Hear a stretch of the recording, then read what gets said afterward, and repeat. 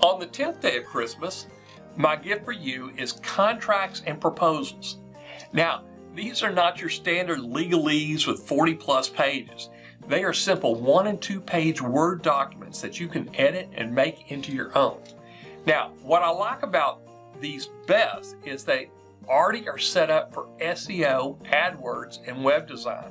Just click on the one that you want, grab it now, and just edit it and make it your own document. Now, I'm not an attorney. I would recommend that you would have an attorney look over these documents.